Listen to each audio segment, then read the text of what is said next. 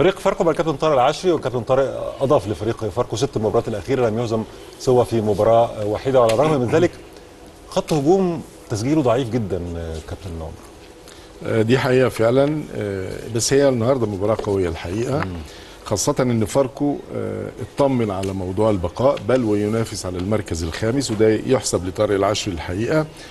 والمباراة اللي مباراة الكاس اللي بالشكل ده هي دي المباريات اللي بيحبها طارق العشر لأن طارق متميز في النواحي الدفاعية فأنت بتتكلم على 90 دقيقة فيهم مصير يا يكمل يا يخرج. وبالتالي هو بيحب المباريات دي وكل ما بيطول الوقت خاصة مع فريق زي الزمالك اللي في تصاعد مستمر الحقيقة وأنا بأكد كلام الكابتن فاروق المدرب لازم ياخد فرصة لأن بدأ بصماته تظهر من مباراة للأخرى يعني.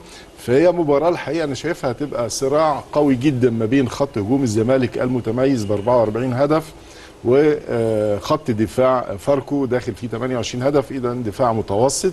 لكن الحقيقة هي مباراة بلغة الكرة ريزله على الفرقتين يعني خاصة طارق زي ما قلنا متميز في النواحي الدفاعية.